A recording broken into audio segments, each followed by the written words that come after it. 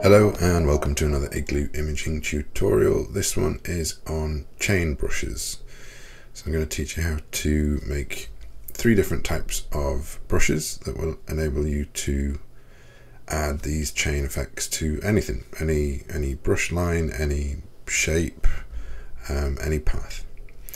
So let's get started. My artboard is 1920 pixels by 1080 high and it's CMYK. We don't need any colors for this one because I'm just going to move on to a new artboard and it's just black and white. So the first one I'm going to show you is this bike chain, this repeating pattern here. Um, and let's just get cracking. So these are the stages we're going to do and I'm just going to talk you through them. So we're going to go up to the, you might see the rectangle tool and we're going to select ellipse. By the way, if you want to hit pause and copy my layout, the navigator artboards, all these windows that you can see, just press pause now and copy anything that's got a tick next to it, okay? And then also under view, smart guides and snap to point. So if you get that sorted, then if you even if you want to put it in this sort of workflow, um, this is what I've developed over 20 years of being a graphic designer. So it might help you, but smart guides, definite under view. Okay, so let's go ahead. We choose, um, pick the ellipse tool and you're going to just click and hold shift and it'll give you a nice perfect circle. Uh, we're going to make sure it's black and then what we're going to do is select it with V and press Command C, which is copy, Command Shift V, which is paste in place. So now we've got two. And we're just going to grab this and make it smaller, but we're going to hold Option and Shift. Now, you don't need to be exact on, on this one. Even the space in between these two doesn't matter. It's just um, once you've got the brush, it, you know, it, it's not going to matter. So you can customize it as much as you want. You can add in other reflections, other dots, rivets, whatever you want to do. So these two here, we're going to go to Pathfinder, and it's the second one in, which is minus front, and it's going to do that. We're going to copy it across. So we're going to select, press Option, press V, select it first, press Option so you get two cursors, drag and click and hold Shift. And you want it about that far apart.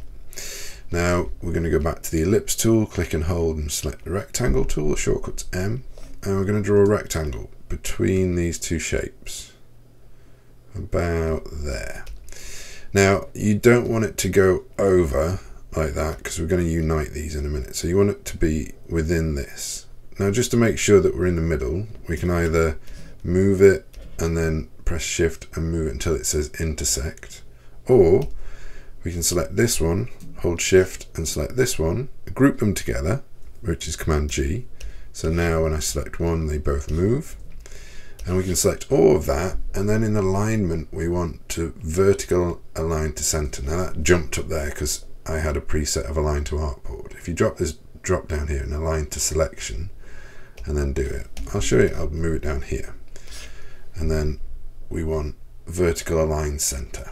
And then you know it's exactly in the middle. Once you've done that back to Pathfinder and unite them. Now we've got one solid shape. So we want to press A, which is direct select, and select these two um, anchor points here. Hold shift and select these two. Now, if you're in CS6, you probably won't see this round corner option, um, but anything after that, you should be okay. And you're just going to grab it and pull it all the way out until it goes red. Now, what we've got is one of the links and we want to add in a center point. So I'm zooming right into this. Um, and because you've got smart guides on, when you select the pen, as you move into the center, you'll see that pink line appear. So just in between these two anchor points up here, when it, the pink line appears, just click. This is a bit harder. These are too close together. So I want to click and then I'm going to, with direct select, I'm going to select all of these onto this side including that little one. So press shift, zoom back out, and I'm just going to delete them. Okay, now if I press Command Y, which is just outline mode, you can see there's a gap between it. Now if you just hit Command J, it just joins those two together. Command Y, back out of outline mode, and there we go. So now we've got one side of the the brush. we need to have this center connector and the other side of the brush. So if I just move this across and I'm going to do the option shift thing again. So option, which gets you two cursors, click and drag and hold shift, move it out that way. Now you can either rotate this round holding shift or you can go up to here which is the reflect tool. You might see rotate. If you do just click and hold reflect double click it and you want vertical. Click OK. Um, and now we want to draw this center bit. Um, the center bit we want it to be the same height as that rectangle we drew. So if we just come over here somewhere and, and draw sort of a rectangle it doesn't have to be exact again about the same height as that and we're going to drag this one into the middle. Again, we don't want it to go over the circle, so let's just do that what we did before. We're going to select this one, press shift, select this one, group them together, command G, select all of them and vertical align so we know it's in the middle. We can ungroup this by pressing command shift G and then it just ungrouped. Now what we want to do is get this this line here, this sort of buffer zone, this white line. So we're going to take this one and this one, hold shift, and now we've got two. I'm going to command C, command shift V, which is paste in place. And for this, let's, we can keep it black actually. We'll just drag the fill over to the stroke and we want to put the weight of the stroke up to, let's have a look. Um, maybe 10, 11, 11. Okay, and then go up to Object, Expand, Fill and Stroke, and it goes a bit nuts, and we just go back to Pathfinder and Unite. So now we've got these two big shapes, okay? And all we're going to do, you can do it a couple of ways, but we're just going to hit, we're going to select these two big shapes, press Shift, select the rectangle, and then we're going to press the, sec the second Pathfinder button minus front. Okay, so that gets us our pattern. Now we're going to select all and group it, Command G, and we're going to shrink this down a bit, okay, because it doesn't need to be that big. And under brushes, just select the little burger and new brush, and it needs to be a pattern brush, and you can call it whatever you want. I'm going to call this bike 2 because I've already got them. Uh, you can leave everything stretched to fit, all the other settings the same, just change colorization to tints, um, which is going to let you change the color of it later on, and click OK. Now, straight away, if I just press B, which is brush, and draw a line, it's going to draw the chain on it, okay, which is great. If I select a square and draw a square, it's got a stroke on it at the minute, but if I just click the bike chain, it's going to add it in. Um, squares go a bit crazy if you want to round them off. That looks kind of nuts. Um, you can change the stroke weight to make it thicker or thinner, or you can double click to actually go back to the pattern brush options and you can mess around in there and change some things. So that's the first one, bike chain. Principle's the same for the second one. This is slightly more complicated because it's a bit of a complicated pattern, but um, it's not too bad. So what we want to start with is go up to the rectangle tool and rounded rectangle tool. Click and drag. Now if you press the up and down cursors, you'll see you can change the rounded, roundedness of the corners. Again, you don't need to be exact, but you need to have a little bit of straight in the middle there. Okay, so what we're going to do is change it to a stroke, drop the fill, and we're going to up the weight to about 10 pixels is fine. Shrink this down a little bit. Maybe drop it to 8 pixels. Yeah, 8's fine. Okay, so we're going to copy it again. So hold Option, um, select it first, hold Option. See those double cursors and hold Shift. And you want to drag it across until you've got a bit of a sort of eye ellipse in the middle. Um, select both of these, object, expand, fill and stroke. And then we're going to copy and paste in place again. So Command C, Command Shift V. So now we've got two.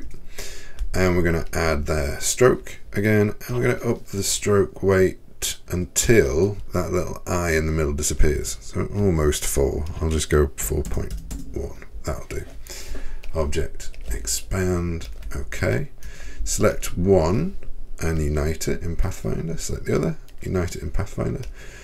And then this is the bit of the strange bit. If, if you look at this one here, we need to cut out this shape from this one and need to cut out this shape from this one. So select the, this one first and this is going to be the cutting out of the other side. So we're going to go up to eraser.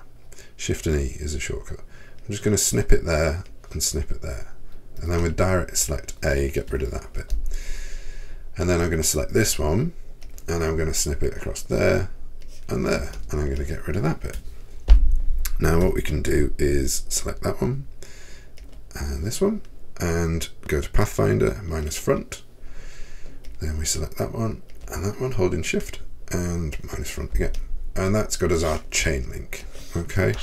So the next thing we want to do is split them in half to create our repeatable pattern, repeatable brush. So we're going to do that same thing again with the pen tool. So select one side, press P, and as you move along you'll see that intersect. So just there, click that one, that one, there, there. Select this one with the V, press P. There we go. And there, and there. Direct select is A. Select all things on the left, get rid of them. You can press Command Y again, remember, and Command J. Oh, it's joined up the wrong ones, so we'll come back to that one. Select that, those there, get rid of them. Then direct select, you can select those two, Command J, J, J, J. Um, Command Y, back out. So once we've got this, we're going to select all of it, Option, click, hold Shift. And that's, it looks good, but it's not quite right. We need a small bit at the top and a big bit at the bottom. So we just need to flip vertically this one. So go back up to reflect or rotate. You want reflect double click, it wants to be vertical. You see the difference? It just flips it around. Once we've got that, we can, if we just select this side and do two cursors left, and we'll unite all this. So then the same process again. We're just going to go to brushes, new brush, pattern brush. Let's call this chain link 2 and remember colorization to tints click OK zoom out and press B which is brush. And there you go. Same thing applies to adding it to any kind of shape or path. Again with the stroke weight if I up this it makes it thicker. And lower it that way. Last one. Super simple. Same method to start with but rather than having our rounded rectangle up to the maximum we're going to just drop it down so we get a little bit of straight on the sides on the edges let's just drop it down to uh, about there. Let's up that stroke weight. 878 will do. So we've got one here and we're going to duplicate this. So option click drag hold shift. And we want a bit of a gap between them. Then select your line tool. And with that one still selected it's going to draw you a line with the same weight stroke so then you can just click and drag like that. You want to change the cap to rounded and we're going to select these two and group them and do the centralization bit. So we make sure this is in the in the middle. So this time we're going to do a horizontal alignment. It's already lined up. And we're going to do the same thing with the center of these points. So ungroup them command shift G just select one with the P. We're going to do that intersect and select this one with V go back to P and then direct select that and that get rid of it select everything object expand okay unite Sorry if I'm going too fast, but it's the same process over and over. So again, go back to brushes, new brush, um, pattern brush, and we're going to do flat chain 2.